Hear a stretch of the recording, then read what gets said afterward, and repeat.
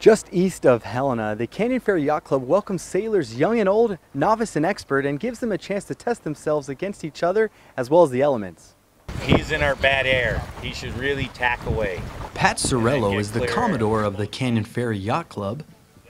He invited us aboard his J24 sailboat, the Saba Wind, to see firsthand the opportunities available for people interested in crewing a sailboat. So the motto out here is it's like 90% boredom, 10% terror. On board is Pat's wife Paula, as well as Nick Sorensen and Kelsey Wagner, a couple learning how to sail after buying a similar boat. I had sailed uh, a handful of times with family, uh, once or twice a year as a kid. You know, one day here, one day there, but no formal experience on a boat. This crew has to work as a team. No one has just one job. Each individual gets the opportunity to work a different part of the craft, giving each person a chance to experience a different role on the team. Uh, today I felt you know more comfortable, needed less and less instructions. And... They will change positions every half an hour. They are racing against other yacht club members in friendly competition but must also be prepared to address a myriad of unpredictable scenarios that could challenge them mentally or physically. Well, there was a faux pas.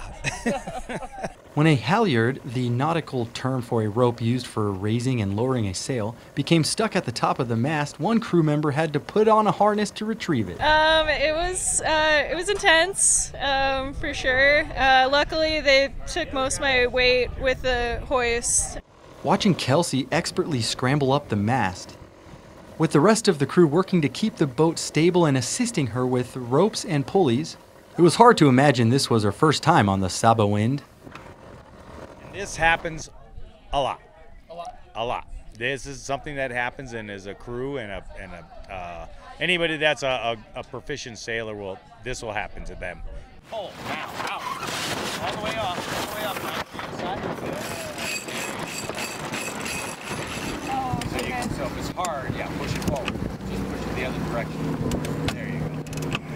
There you go. Now lock it in. But you got to keep The crew must communicate if they are to manage the shifting wind and weather, other crafts on the water, and even the different sails and equipment in their boat.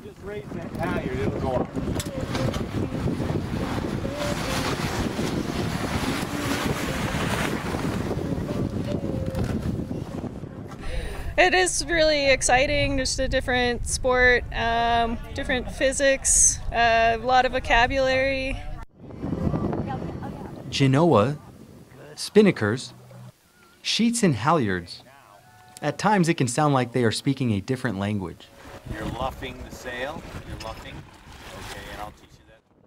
The more time we spent on the water, the more relaxed the crew became. When they needed to shift their sails, they moved quickly.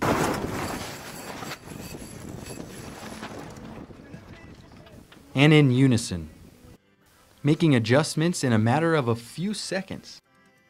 They kept the boat moving between 4 and 5 knots per hour.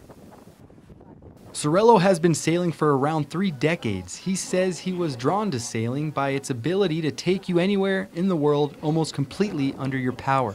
My goal initially was when I learned how to sail, I said, I want to be able to go to the Virgin Islands and be able to charter my own boat without a without a cook and a skipper. And so I have gotten to that point. What keeps him sailing? Sailing is like something you can do all over the world. I've met more friends. I run into them everywhere I go. On go. Canyon Ferry with photographer Eric Jocham. I'm Hayes Bartroff, MTN News.